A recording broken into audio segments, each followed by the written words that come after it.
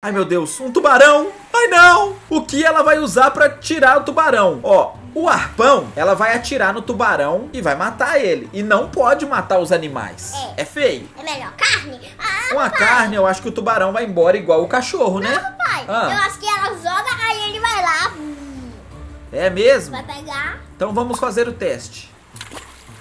Ah, muito bem, acertamos.